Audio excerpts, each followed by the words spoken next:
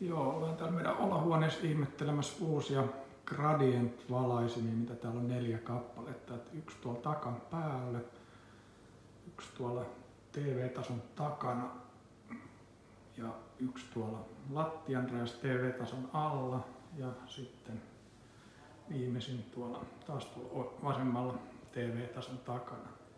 Ja tässä vaiheessa valaistus on suhteellisen, suhteellisen rauhallinen, kun on kyseessä käytössä valkoista valoa, mutta ennen joku vähän värikkäämpi skenaario täältä HUE-applikaatiosta. Eli mennään tuonne HUE-valaistusasetuksiin ja otetaan sieltä näistä ehkä yksi värikkäimmistä, eli tämmöinen Tokio-valaistusasetus. Ja nyt jos katsotaan tätä valaistusta, niin gradientit sinänsä toimii ihan hienosti, että tuolla takan päällä oleva gradientti näyttää useampaa valoa ja se väriliuku siellä on ihan siisti ja samalla lailla tuolla TV-tason alla tapahtuu. Mutta sitten jos keskitytään tuonne oikeaan kulmaan, niin siellä se valaistus on vähän sekavan näköinen. Eli tuolla katossa on oranssia valoa ja lattiassa on sinistä valoa ja sitten siinä välissä on ehkä jotain liilaa valoa. Joten niin jotain pitäisi tehdä, että saataisiin tästä vähän semmoinen siistimmän näköinen. Eli mennään takaisin sinne HUE-applikaatioon, napautetaan tuosta valmis ja luodaan uusi valaistuskenaario. Luo mukautettu, annetaan sille joku nimi. Laitetaan vaikka Tokio V3 ja tallennetaan tämä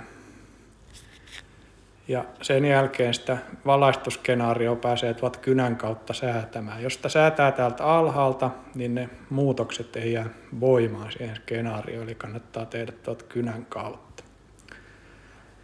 Ja nyt meillä on täällä nähtävillä nämä jokaisen valaisimen asetukset täällä alhaalla ja säädetään ensimmäisen tota takkaa niin, että noin värit menis eri järjestyksessä, eli tonne tuonne tota nurkkaan, missä on noita muitakin valaisimia, niin pääty sininen väri. Ja se tapahtuu sillä, että napauttaa takkaa, jolloin tulee tämmöinen värivalitsin tai color pickeri, missä valitaan sitten näitä valoja. Ja otetaan tämä sininen pääty täältä nyt irti johonkin toiseen kohtaan väliaikaisesti ja siirretään toi oranssi pääty sinne. Ja kun siinä samassa kohdassa on useampi muu valaisin siis sinisellä värillä, niin se napsahtaa niiden kanssa tasan samalle värille ja sitten siihen tulee tuonne numero, mikä kertoo, että kuinka monta valaisinta käyttää tätä asetusta. Ja sitten napataan se toinen pääty ja viedään se tonne oranssi ja se napsahtaa taas samalla lailla paikalle. Ja jos nyt katsoo sitten sitä valaistusta, miltä se näyttää nyt, niin se oranssi väri keltainen väri on siirtynyt tuonne toiseen nurkkaan. Ja nyt tuolla nurkassa on jo huomattavasti rauhallisempi valaistus, eli sinistä. Ja sitten siellä puolesvälissä näkyy ehkä vähän jotain liilaa väriä. No se liila väri johtuu siitä, että sen kaiuttimen takana on yksi tämmöinen E27 polttimo, jonka asetukset pitää muuttaa sitten niin, että siirretään sekin siniselle värille. Ja näin ollen, kun se muutos on tehty, niin siellä kulmassa on jo huomattavasti rauhallisempi valaistus. No, seuraavaksi aletaan säätää tuota kaiuttimen vieressä siinä niin kuin TV-tason takana olevaa lyhyempää gradient light strippiä, jos tällä hetkellä näkyy kaikki värit. Ja jos sitä vertaisi tuonne alapuolella olevaan pidempään gradient light strippiin, niin siellä näkyy vaan lähinnä sinistä valoa, niin tehdään siitäkin vähän rauhallisemman näköinen. Eli napauttaa tota televisio oikea valaisinta ja tuodaan tuolta toi oranssi pääty lähemmäs tänne, tänne tota, tätä sinistä väriä. Ja jotta sinne nyt jäisi vähän niin kuin useampaa väriä ja näkisi, että se on niin kuin gradient light strippi, niin ehkä siinä on kuitenkin hyvä olla sitten niin kuin muutamaa väriä näkyvissä. Eli, eli tämän näköiset asetukset jää sinne. Ja vastaavasti se näyttää sitten tältä. Ehkä kuvassa palaa hieman puhki noin värit ja tosielämässä se on huomattavasti rauhallisemman näköinen, mutta siellä on sininen väri ja sitten ihan lopussa toinen pieni häivähdys liilaa.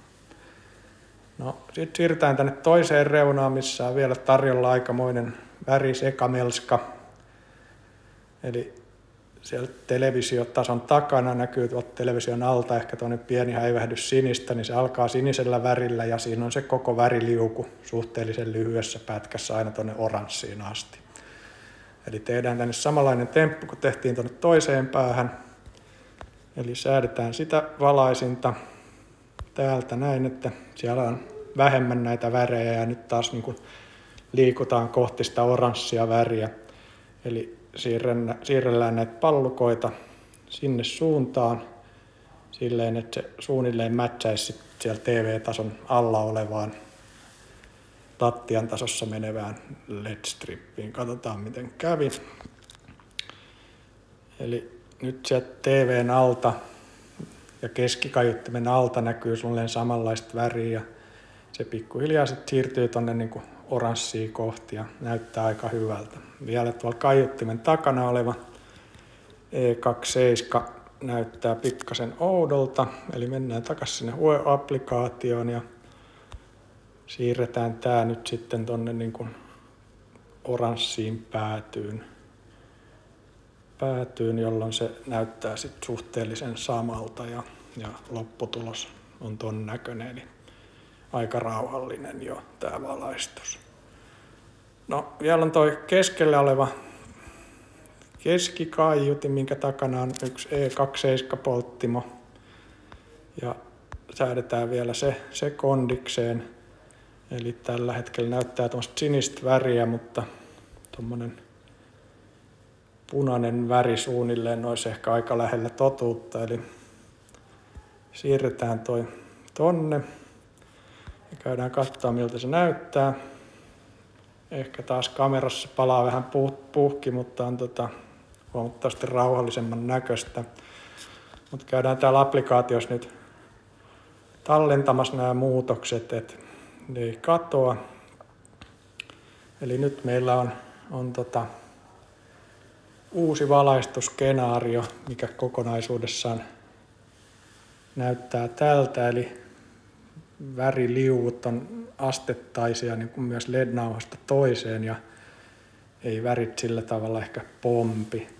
Et jos sinne ottaa sen alkuperäisen nyt vielä vertailun vuoksi, niin, niin ainakin omasta mielestä alkuperäinen valastuskenaario on, on huomattavasti rauhattomampi, kun ne värit pomppii paikasta toiseen ja on erinäköisiä värisekamelskoja siellä sun täällä.